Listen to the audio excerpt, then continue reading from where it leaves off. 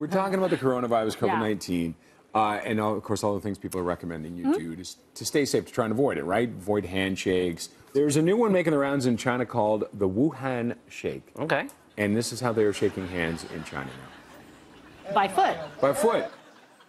The Late Show Center for Disease Control presents Safe Greetings.